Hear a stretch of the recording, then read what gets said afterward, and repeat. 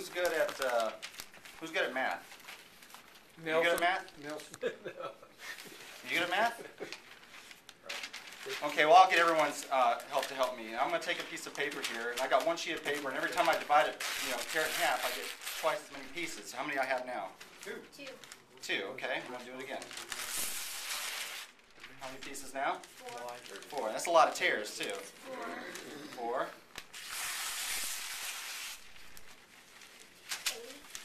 Eight. very good. Sixteen. 16, what's 16 times 2? Thirty-two. 32, very good.